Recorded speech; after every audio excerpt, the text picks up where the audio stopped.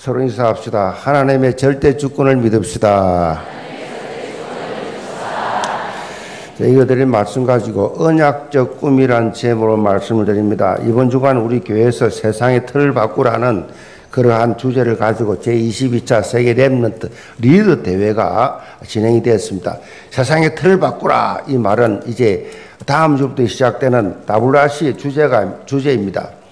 이번에 우리 교회에서 훈련 받은 어, 랩런트들 리더 그러니까 스태프들 포함해서 어, 보고서를 보니까 2,503명이 훈련 받아서 얘기했어요.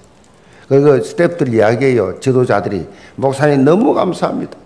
교회가 너무 이렇게 막 더 바랄 게 없습니다.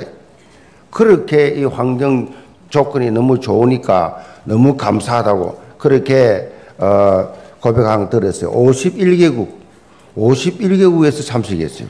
이번에 엠디르 대 51개국에서 랩런트가 몇 명이냐? 1077명이 참석했어요. 다민족이.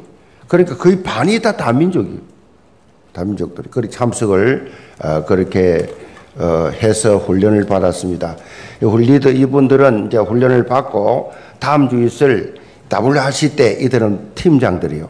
다 그 전부 다 이제 어, 리더로 그렇게 어, 쓰임을 받기 위해서 미리 다 훈련을 그렇게 한 것입니다. 다음 주도만 한 2만 명 이상, 2만 5천 명 오니까 이들 영적 무장이 잘 되어야 영적으로 다 깨어 있어야 이 영향력을 그렇게 어, 입을 수 있잖아요. 그래서 저도 첫째 날에 첫날에 특강을 했습니다. 랩들 이들에게 행복한 서밋의 여정을 걸어라. 행복한 서밋. 그렇게 제가 메시지를 냈습니다. 그리고 윤 목사님께서 3강을 했는데 1강 놓친 것 언약이죠. 2강 빼앗긴 것 회복이죠. 세 번째 세 번째 강의는 새로운 것 미래에 대해서 그렇게 메시지를 했습니다. 다 나와 있으니까 이런 보실 분을 다 보시기 바라고 우리 교회가 이렇게 본당 입당을 하고 작년에 이어서 올해 이렇게 랩런트들이 정말 오늘 제목처럼 언약의 꿈 언약의 꿈을 마음껏 펼칠 수 있는 공간을 이렇게 마련해 준 것이 얼마나 기쁘고 감사한지 몰라요. 너무 행복했어요. 우리 엠들도 행복해하고 제가 모습을 내 모니터로 제가 방에서 보잖아요.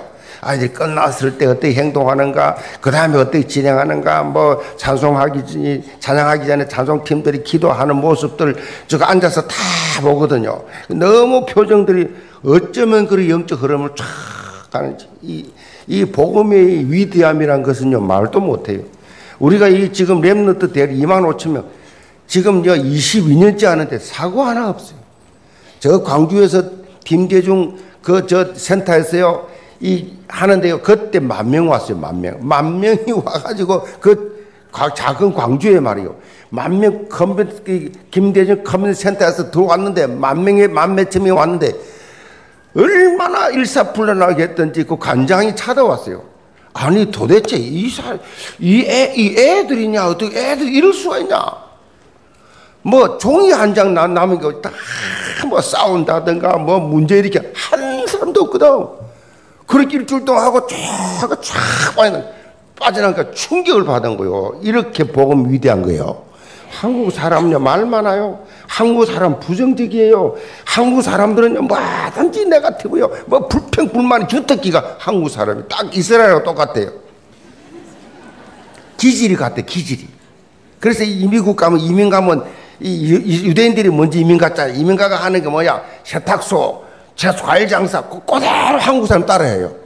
기질이 똑같으니까. 부지런하고 열심히 하니까. 그러니까 그렇게 또 기질 거의 같아. DNA가 비슷해요. 주특기가 뭐냐? 불평 원망. 그냥 불평하고 원망하고. 머리가 좋아요. 한국 사람 머리가 좋아. 그러니까 다 판단하고 비판하고. 그러니까 다 죽여버리니까 하나님은. 출애굽 시기나고 하도 불평하니까 다 죽여 다 죽여. 나온 사람 여호수 관리 위해 다 죽였다고. 여러분요 불평 원망 계속. 이게 한국 사람이에요. 근데 보세요. 이 복음 공동체 딱 들어지니까 불평 원망이 없어. 우리가 이 상임위에서요, 이 인프라가 얼마나 많아요, 우리 다락방이. 엄청납니다. 태영아부까지 쫙쫙 뭐 말도 뭐 산업, 성교, 무슨 여전. 한마디, 하나 질문도 없어. 쫙 복음 속에서 하나님 절대 주고 믿고 수용하고 이해하고 감사주고 치료하고 기다려주고 인내하고 그러면서 쫙 흘러갑니다.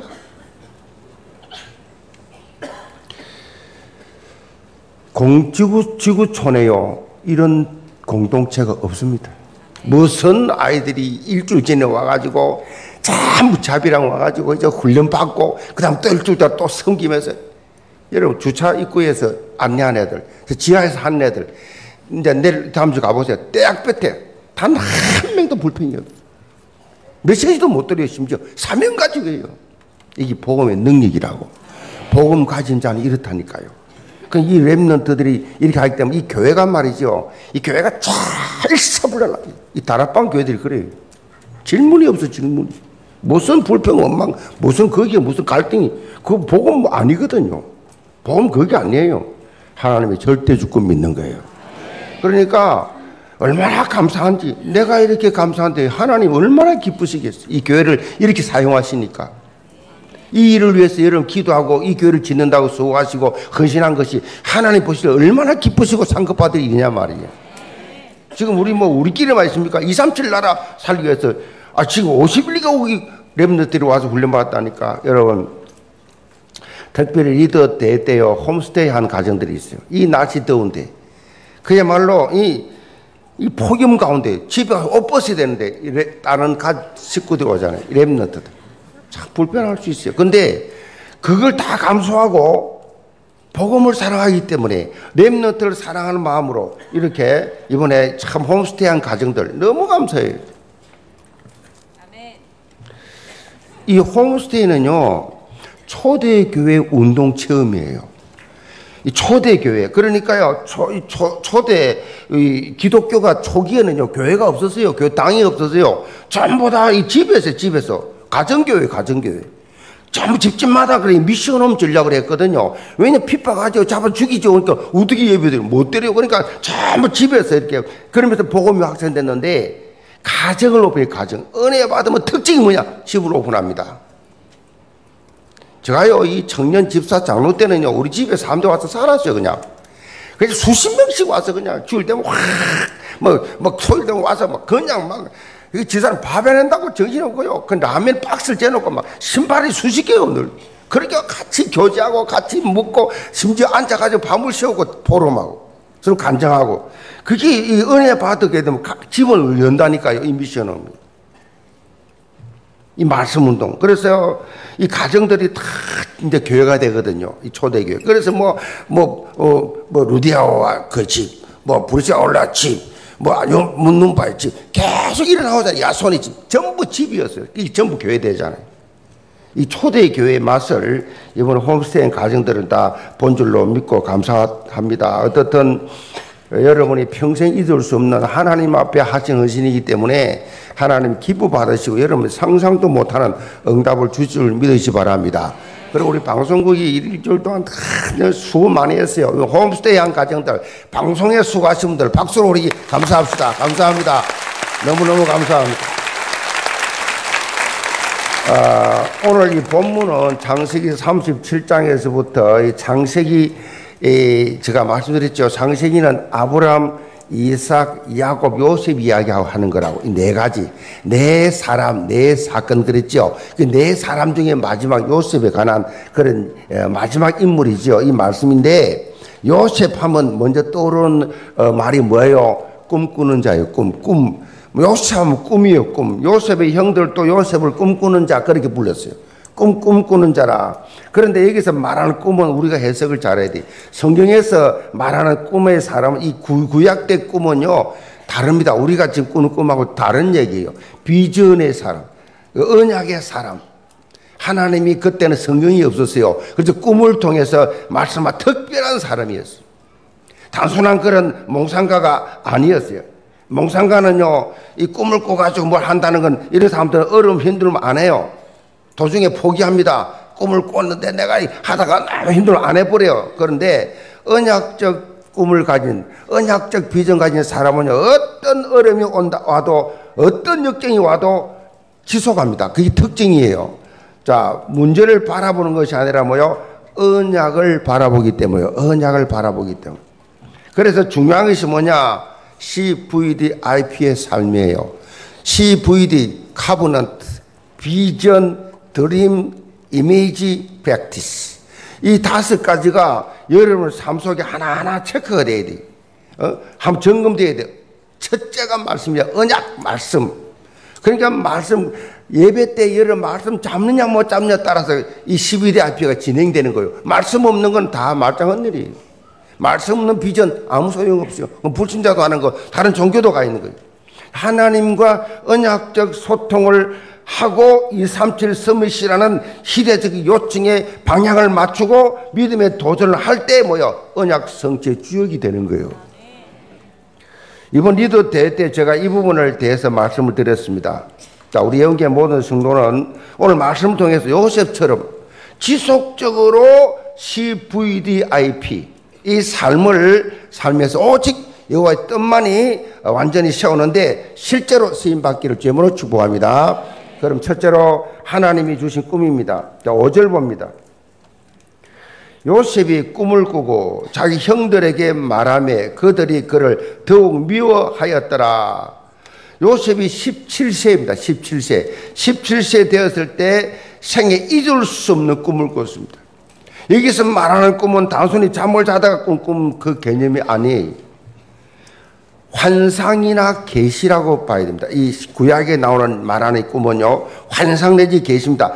요셉을 향한 하나님의 계획이 꿈이라는 매체를 통해서 그렇게 요셉을 보여준 겁니다. 장차 하나님께서 요셉을 통해서 하나님의 계획이 당연히 그걸 보여준 거예요. 지금처럼 그렇게 말씀이 없었기 때문에 신약이다 구약이다 하나님 말씀이 없는 시대였기 때문에 그렇게 하나님께서 하나님의 뜻과 계획을 특별하게 그렇게 전달을 하는 그런 방법으로 사용했어요. 그래서 신약에서는 꿈이란 말이 없습니다. 환상 중에 이런 말 나오지 꿈이란 말이 없습니다. 신약에서는. 구약에서 말씀이 없었기 때문에 그렇게 꿈 이런 이런 말인데 그 꿈은 우리가 말할 꿈하고 달라요. 6절에 8절 봅니다. 요셉이 그들에게 이르되 청컨대 내가 꾼 꿈을 들으시오. 우리가 밭에서 곡식단을 묶더니 내 단은 일어서고 당신들의 단은 내 단을 둘러서 절하더이다. 그 형들이 그에게 이르되 너가 참으로 우리 왕이 되겠냐 참으로 우리를 다스리겠느냐 하고 그의 꿈과 그로 말미암아 그의 말로 말미암아 그를 더욱 미워하였더니 자 형들이 이 입장에서 볼 때 정말로 황당한 금방진 말이지요. 밭에서 곡식단을 다 묶는데 이 요셉의 단을 향해서 형들의 단이 다 절했다는 거예요. 형들은 안 그래도 가뜩이나 지금 이 요셉 이거 아니 아버지가 요셉만을 사랑한단 말 요셉. 그 자기들은 완전히 이거 뭐 정말 낙동과 오리알이야. 그러니까 늘 섭섭한 마음을 늘 가지고 있었어요. 왜 요셉만 편애하나? 요셉만 옷을 따로 입혔어요. 요셉만 아주 좋은 그러니까 이, 이 그야말로 철 모르는 요셉은 뭐 왜 아버지가 남아 사는 그걸 잘 몰라요. 그냥 막 그막 그런 자랑하고 돌아다니고 또 그것도 이 성경에 나오죠. 형들이 잘못한 거 아버지도 고자질하는 거요.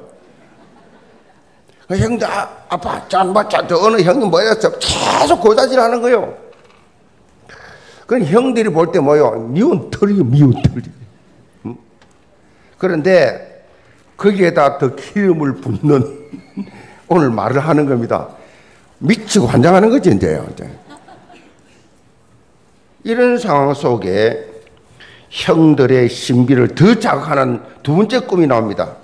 첫 번째 꿈은 요셉의 곡식단을 향해서 형들의 곡식단이 그렇게 절하고 두 번째 꿈은 해와 달과 열한 별이 절하더라 이거예요. 그러니까 아버지, 어머니 포함해서 자기들이 전부 다 자기에게 절했다. 이 말을 듣는 형들 뿐만 아니라 부모들도 어, 어떻게 생각했어요? 위계 질서, 그 당시로서는 위계 질서가 철저했던 그런 시대인데 상상도 못한 말을 했어요, 요셉이. 그런데 놀라운 사실은요, 이 꿈이 13년 만에 정확하게 이루어집니다. 전부 절합니다, 요셉 앞에. 13년 만에. 하나님이 주신 꿈은 어래요? 단순한 꿈이 아니다는 거예요. 언약 성취를 위한 계시였다는 말씀이에요. 하나님은 이 언약 잡은 자에게 자신의 계획을 알리고 이루어 가심을 믿어야 됩니다. 하나님이 누구를 통해서 지금도 마찬가지요. 여러분 예배를 똑같이 드리지만은 언약 잡은 자는 말씀 잡은 자, 그 말씀을 순종하고 나가는 자는 어떤 역경과 어려움을 극복하고 나가는 자는 성취가 되게 돼 있어요. 그 사람이 정인이에요. 그 사람만 응답받아요. 예배드리는 다 앉아있어도 응답받는 게 아니에요. 말씀 잡고 말씀대로 순종하면 나가는 사람만이 영적 비밀을 가지게 된 거예요. 아, 하나님의 살아 계시구나. 하나님 나와 함께 계시구나. 자, 10절 봅니다. 그가 그의 꿈을 아버지와 형들에게 말하며 아버지가 그를 꾸짖고 그에게 이르되 너가 꾼 꿈이 무엇이냐 나와 내 어머니와 내 형들이 참으로 가서 땅에 엎드려 내게 절하겠느냐 그의 형들은 시기하되 그의 아버지는 그 말을 간직해 두었더라 요셉의 꿈 내용을 들은 이 야곱의 형들은요 요셉의 형들은 전부 다 요셉을 막 꾸짖었어요. 야곱도 꾸짖었습니다. 아버지도. 그러나 야곱이 뭐요? 아버지는 그 말을 간직해 두었다. 이 말은 언약적 관점에서 요셉의 말을 들은 거예요. 이 말이 중요합니다. 언약적 관점에서 이 요셉 꿈을 바라본 겁니다. 눈앞에 현실화된 것이 아니기 때문에 굳이 말을 하지 않았지만은 요셉이 꾼 꿈을 언약적 꿈이라는 사실을 이 야곱은 보고 있었어요. 자, 그 말을 간직해 두었다. 이 표현은 원어적으로 보면 그 말을 지켰다라는 뜻이에요. 지켰다. 어? 그러니까 마음에 새겨 놓고 두고 두고 생각했다. 라는 의미예요. 언약에 관심이 없었던 요셉의 형들은요, 나타나는 현상만 놓고 감정적 반응만 보입니다. 이 언약 없는 사람 특징이에요. 언약이 없는 사람, 말씀이 없는 사람, 은혜 못 받는 사람의 특징이 뭐냐? 그냥 보고 느낀 그대로입니다. 감정대로 살아요. 기분 나쁘면 나쁜 거고, 뭐 좋으면 좋은 거고, 싫으면 싫은 거고, 이거예요. 이 언약 없는 사람이 하는 반응이에요. 언약을 가진 사람은요, 절대 그렇게 반응하지 않습니다. 하나님이 나에게 분명히 이렇게 말씀하시기 때문에 이 반응이 아니라 하나님은 분명히 다른 반응으로 내게 보여주실 것이다. 그렇게 언약적 하나님이 다 이 영적으로 하나님과 소통하는 사람의 특징이에요. 감정적 반응하지 않아요. 기분 따라 감정 따라 그 사람은 은혜의 사람 아니에요. 야곱은요 보는 눈이 달랐어. 보는 해석하는 눈이 달랐어. 그러면 이 시대 하나님께서 우리에게 어떻게 꿈을 주시는가? 지금도 꿈을 통해서 특별 계시를 주실 수 있지만은 하나님께서는 다른 방법을 통해서 우리의 이 삶 속에 하나님의 뜻과 계획을 주시는데 그게 뭐냐? 정확 무한 하나님의 말씀이에요. 하나님의 말씀입니다. 정확무한 하나님 말씀. 성경 66권 속에 하나님의 뜻과 계획이 다 들어있어요. 그래서 하나님의 말씀에 근거하지 않는 것은 다 가짜예요. 성경 근거돼야 돼요. 그래서 강단이 중요합니다. 강단 말씀을 붙잡고 언약적 삶을 사는 것이 가장 그게 신앙생활이. 그거 안 되는 사람은 그 교회 다니는 사람이지 신앙생활 사람 아니에요. 하나님의 말씀을 잡고 삶 속에 적용하는 사람은 언약적 신앙생활하는 사람이고 하나님 말씀을 듣고도 삶 적용 안 하는 사람은 그냥 교회 다니는 사람이에요. 그 사람은 영적인 비밀이 없지요. 없습니다. 자기 감정, 기분대로, 자기 생각대로, 자기 계산대로 사는 거지요. 어, 여러분과도 혹시 이상한 꿈을 꾸었는데 그것이 하나 특별 계시가 아닌가 헷갈릴 수가 있는 그런 어, 경우도 있는데 간단하게 진단해 보세요. 내가 꿈을 꿨는데 이상한 꿈을 꿨는데 이게 도대체 하나님께 왜 이런 꿈을 꾸었을까 헷갈립니까? 간단합니다 진단. 하나님 말씀에 비추어 보세요. 하나님의 말씀에 비추면 돼요. 말씀과 상관이 없으면 그걸 뭐라 그러냐? 견몽이라 그럽니다. 견몽이 뭐냐? 개꿈이요, 그 개꿈. 거의 다 개꿈이에요. 99.9%가 개꿈이에요.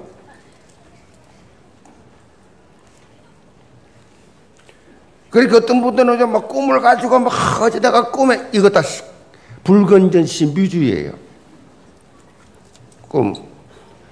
꿈 가지고 말하면 그건 신비, 그건 비성경적이에요. 신비주의 맹점이 뭔지 아십니까? 신비주의 전부 다 하나님 말씀 기준이 아니에요. 하나님 말씀 기준은 근거가 없어. 그게 아니고 전부 다 뭐요? 자기 생각이, 자기 감정이 신비주의들. 우리는 이런 삶이 아니고 성경이 강조하는 모양 오직 그리스도, 오직 하나님의 나라, 오직 성령 충만. 이, 이 기준에서 여러분이 이제 봐야 됩니다. 이 세 가지의 이 언약의 기반이 된 이것이 확실히 각인 뿌리 체질이 된 이런 사람들은 어떤 문제 사건 앞에서도 뭐요 흔들리지 않습니다. 이 1장 1절 3절 8절 답 나온 사람은요 특징이 있습니다. 결론 난 사람 안다 안다가 안다 가지고 안 돼요. 안다 그건 귀신도 더 잘 알아요. 안다가 아니에요. 완전히 성령이 각인 뿌리 체일 시켜준 사람 특징 어떤 문제 사건 어느 누구 때문에 흔들리지 않는다는 거예요. 그게 특징이에요. 계속해서 뭐요? 흔들리지 않을 정도가 아니라 믿음에 전진하지요. 계속 전진합니다. 미국의 디트로이트에 가면 헨리 포드 박물관이 있어요.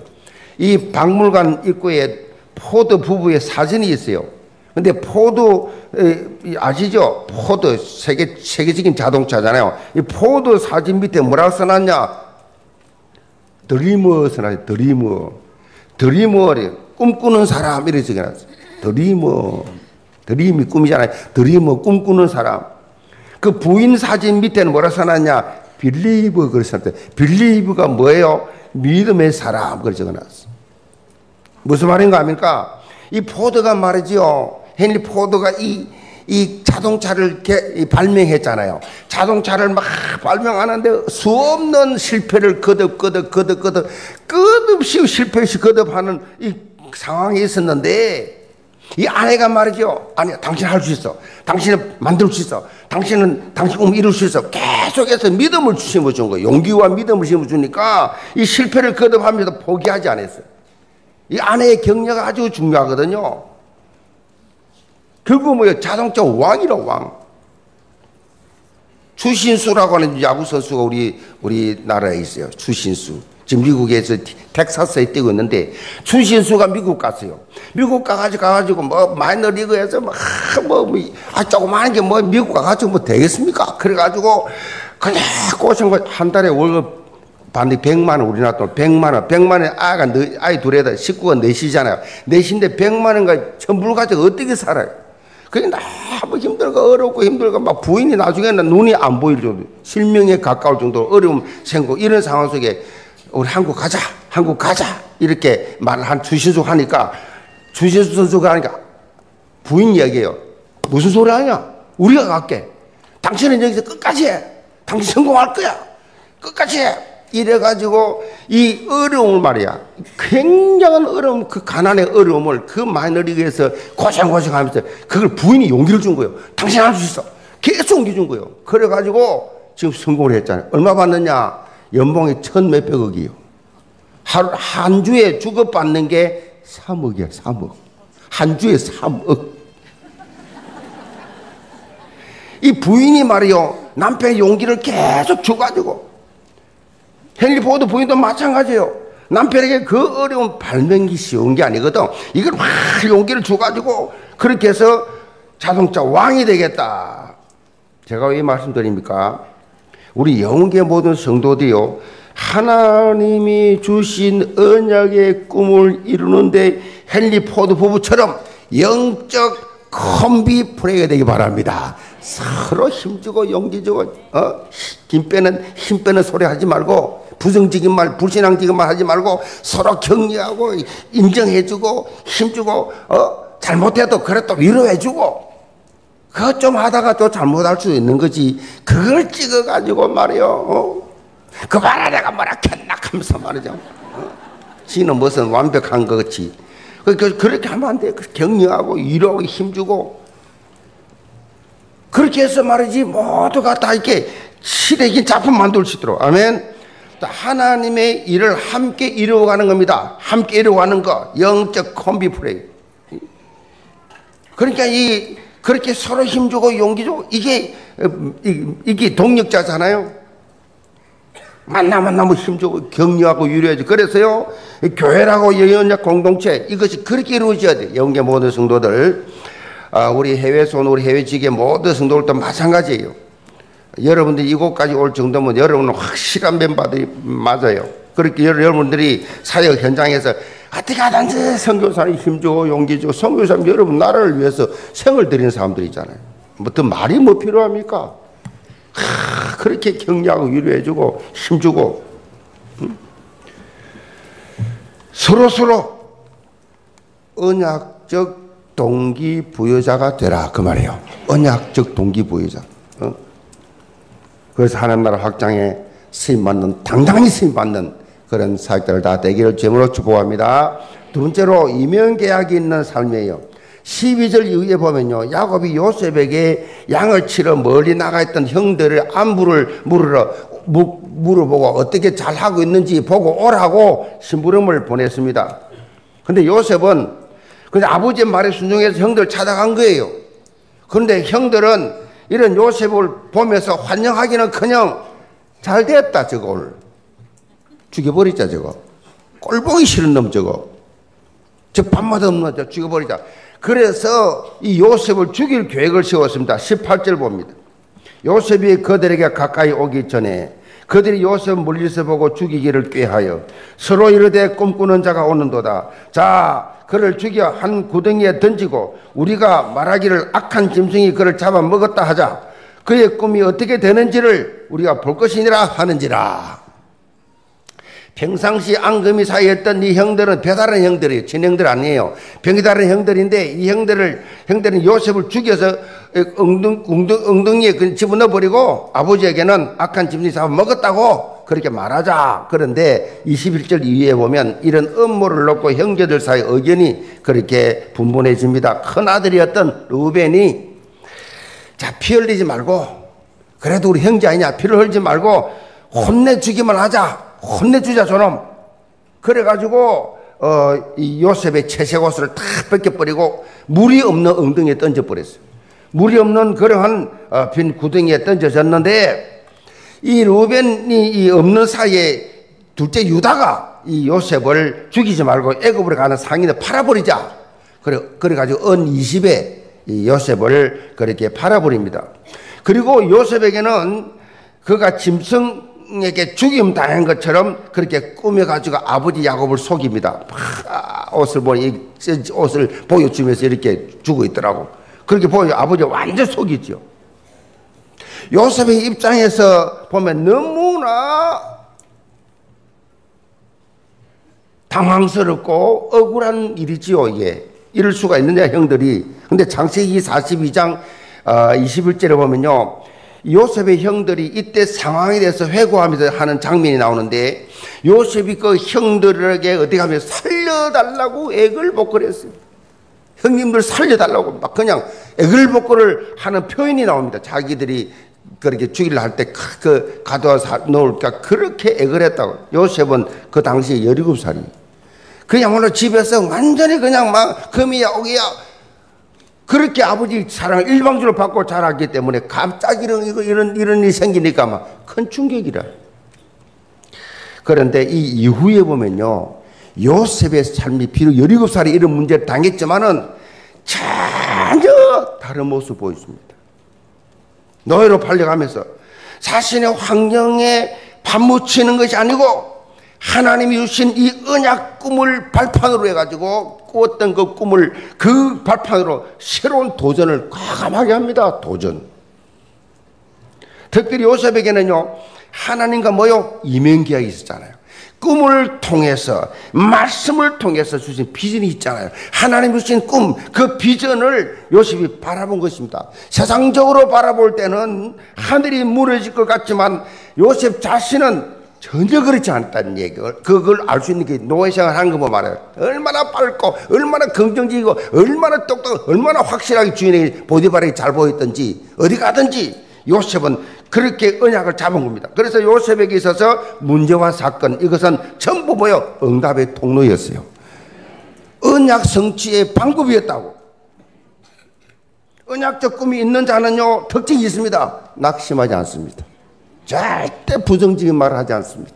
언약을 가진 사람은 하나님과 이면계가 있기 때문에 전혀 사람 반응에 대해서 영향받지 않습니다. 특징이 그래요. 특징이. 전혀 사람이 이랬다. 아이고, 뭐, 그럴 수 있지. 목사님이 그럴 수 있다. 목사도 그럴 수 있다. 장로님이 어떻게, 장로도 그럴 수 있어. 사람이야, 사람.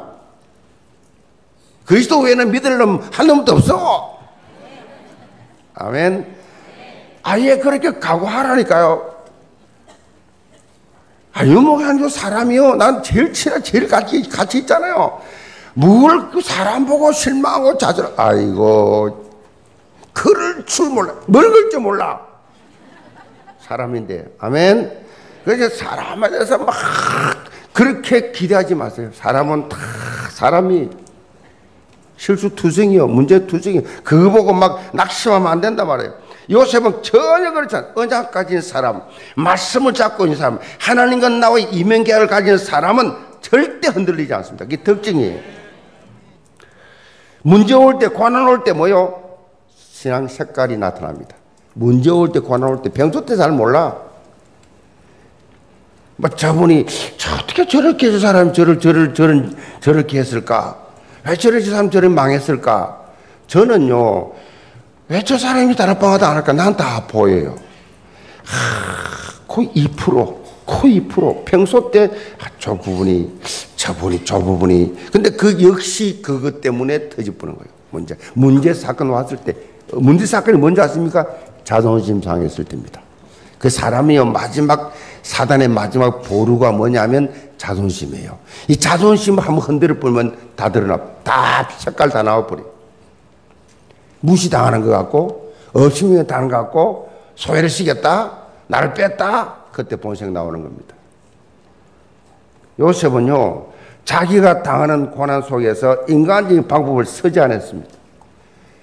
언약, 언약 붙잡고 뭐요? 하나님만 바라본 거예요. 하나님만 바라왔다는 거예요. 그게 중요한 거예요. 보디바르 집에 노예로 팔릴 때나 억울한 누명을 쓰고 감옥에 갈 때나 마찬가지예요. 전혀 흔들림이 없어.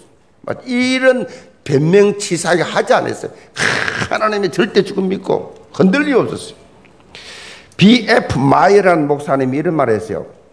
영광스러운 황금 멜류관에 앞서 반드시 고난의 강철 멜류관이 있어야 한다.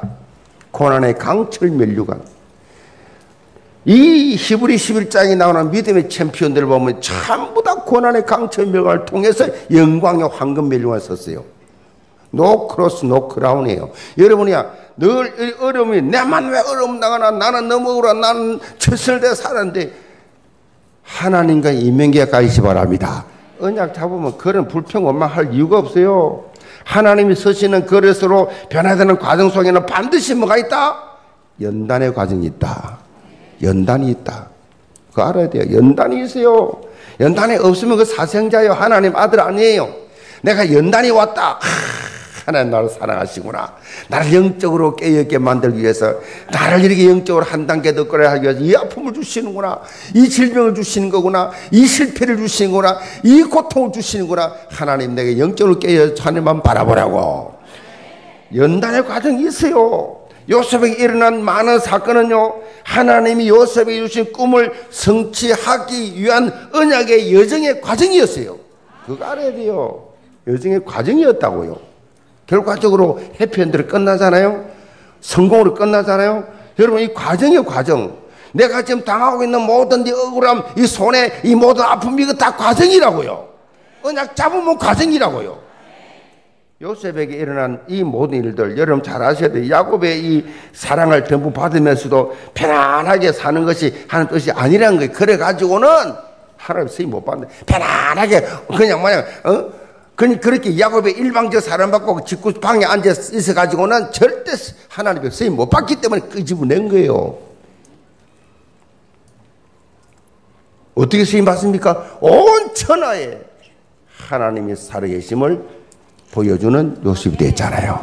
온 천하에 하나님 살아계신 거예요. 자, 여러분 앞에 닥치는 문제, 사건 두려워하지 마시기 바랍니다. 언약 성취의 관점에서 보시기 바랍니다. 하나님과의 이면 계약은 언약을 이루는데 내가 어떻게 쓰임 받을 수 있을까? 이것만 발견하면 돼요. 내가 어떻게 쓰임 받을 수 있을까? 하나님 앞에. 어? 이걸 생각하면 돼요. 그러면 어떻게 됩니까? 흔들리지 않습니다. 어? 잔머리 돌리지 않습니다. 왜? 모든 것을 합력하여 선이루신 하나님을 바라보기 때문에 그렇습니다. 모든 하나님과 선이루신 영계 모든 성도들 요셉처럼 하나님과 이면 계약이 있는 삶을 통해서 날마다 믿음에 무한 도전하시 기 바랍니다. 도전하세요, 도전. 도전. 성공한 사람의 특징은요, 적시로입니다, 적시로. 그 아시는 적시로. 도전합니다. 절대 포기, 포기하는 법이 없어요.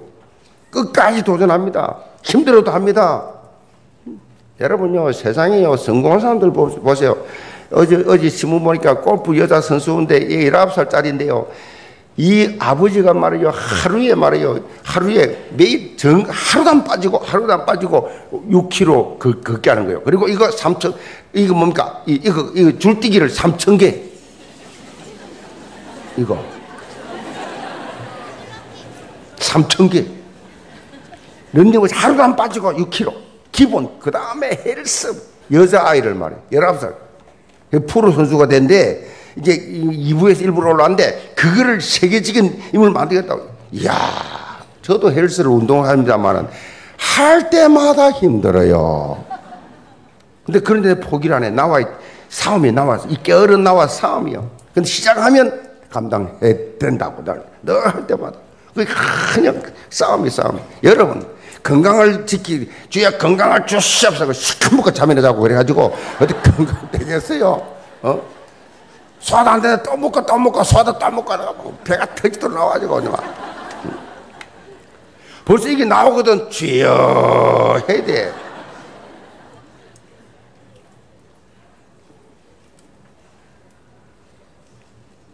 만병의 만병의 근원이야 이게 이게 어떻게 돼? 절제. 먹는 것도 절제. 응? 요즘 지금 깊은 음식 먹는다고 유목사님 뭐 깊은 음식 먹는다고. 응? 소금 설탕 안 들어가는 음식을 먹게 되니까. 그것도 절제요. 하나님 시간표야 그것도. 하고 싶은 거 먹고 싶은 거 다 언제 언제 인도받아? 하고 싶은 걸다 하고 할 짓 다 하고 뭐 언제 인도받아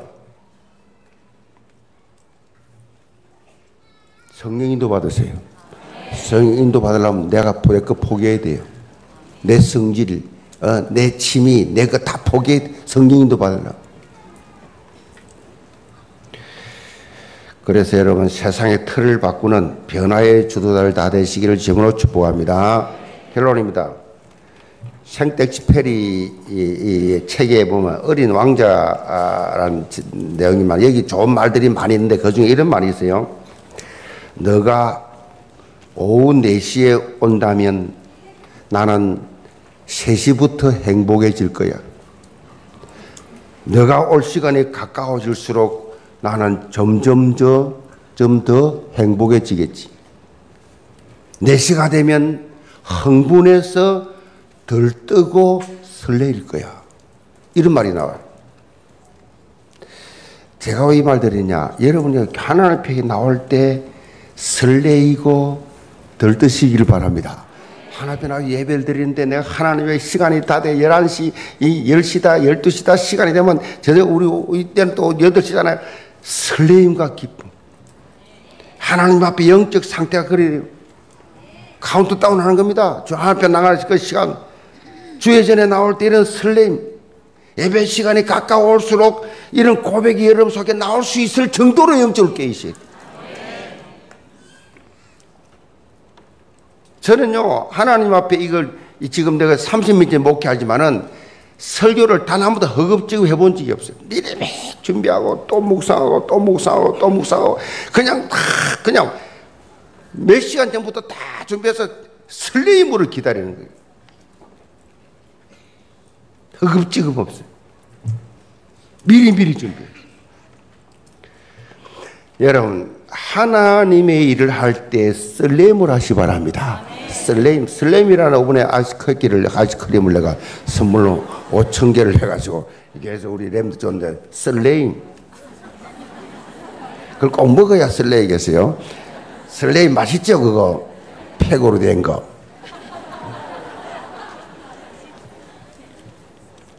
여러분이 하나님 앞에 그 슬레임, 아이스크림만 빨아먹지 말고 설레임.